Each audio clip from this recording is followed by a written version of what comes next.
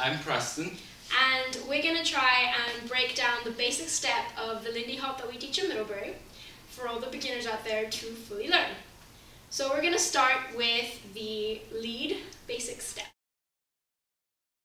Rock, step, triple step, rock, step, triple step. The basic step for a lead in uh, Lindy Hop is a rock, step, triple step, rock, step, triple step. So now I'll break it down for you. Um, you're starting with your left foot in a backwards motion. You're rocking back on it. You always have your weight on the foot which you're stepping on, which is very important. So it's a backwards rock with your left foot and then a step with your right foot. So rock, step, triple step. The triple stepping in motion, you should be parallel to your previous position. For the very first half of the basic, you're stepping backwards and on your second step, you're turning your foot slightly in preparation for your rotation. You're always turning um, over your left shoulder. So, once again, it looks like this. Rock, step, triple step. The second half of the basic is the same thing, essentially, except you're on a different foot now. So you start backwards with your right foot, rock, step, triple step. So for this move, you're rocking backwards with your right foot, you're turning it slightly in pre preparation for that same rotation. Step, you're also turning it because you are going to rotate. Triple step. So one more time, all together, it is rock, step, triple step, rock, step, triple step.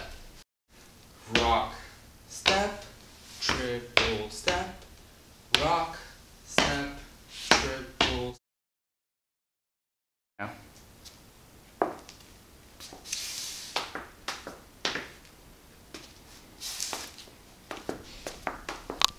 So the follows are essentially always going to be moving forward. Now, the first step you take is on your right foot, so you step. The second step is you're starting to turn, so it's a bit of a pivot where you're stepping and turning, preparing to do a triple step.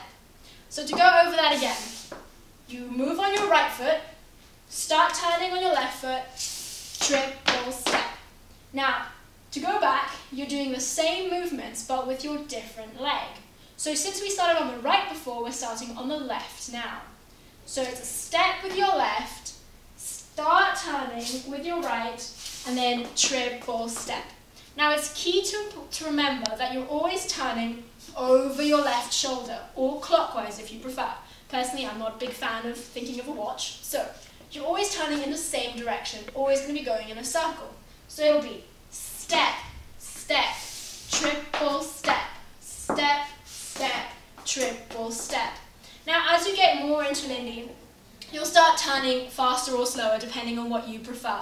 But in general, it's on that second step that you start turning your body. And you'll see why when we put this together with our leads. Okay.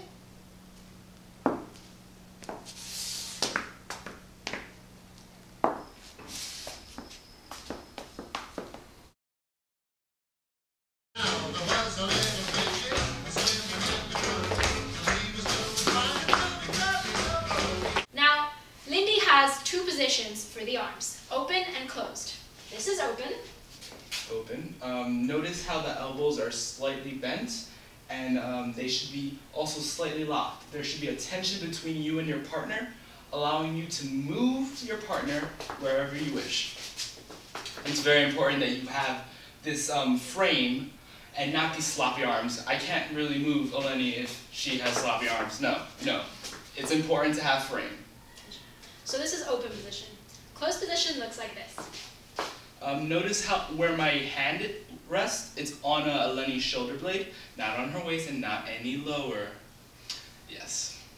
Um, follows, your arm is on your lead's shoulder and your elbow is resting on your lead's elbow. Uh, notice how um, our arms create a curve. It's a curve. It's important for the maneuvering. Also note that we're not extremely far apart, not awkward, but we're also not stuck together. No. There is a comfortable distance um, so that allows us to maneuver and do different moves which require movement. So let's see how our steps connect with what our arms are doing.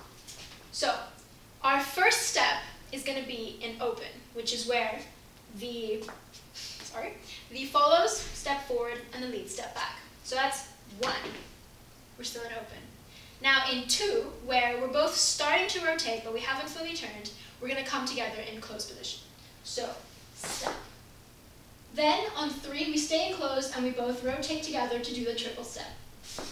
Triple step. So let's go over that again. We're in open. We go step, step, triple step. So now we start from closed and we do the movements that we learned previously. So the follows are going to step forward and the leads again are going to step back, back using the different foot. So step, we're still enclosed. The second step, we're going to start rotating again and we're going to stay enclosed. Step, and as we do the triple step, we start letting go. Triple step. So essentially, the followers during this movement may need to take an extra step back whilst they're doing their triple step so as to create the open position with their partner. Let's go through the whole thing one more time, a little bit faster. It's important for the leads to remember um, on their very first step backwards, they're pulling the follow towards them. Step, step, triple step. As well as on the second half of the basic, they're pulling the lead, uh, the they're pulling their follow into a rotation with their um, right arm on the shoulder blade. So it's rock, step, triple step. You're guiding your follow to do these movements. One important thing to remember as a follow is to really um, do what your lead is telling you through the movement of the arms. Um, you might be going through the step and going to the music, but if your lead is going to a different beat or is going faster, slower, you need to be following your lead and not be going through the step motion step, step, triple step. So if he maybe rotates a little bit faster or sooner than I expect, I still have to rotate with my lead, not to rotate at the point that I have learned. Um, so if you need to watch that again, go back and play it again, and hopefully we helped. Hopefully. Uh, here is um, some examples of the basic step with music.